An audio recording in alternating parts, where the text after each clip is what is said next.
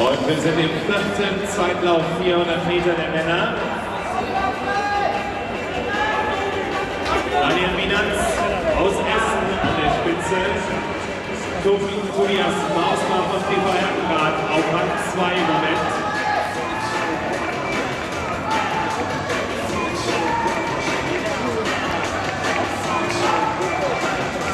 Und so geht es auch auf die Zielgerade. Außen Tobias Mausbach, dahinter Patrick Miller, das sind die ersten drei.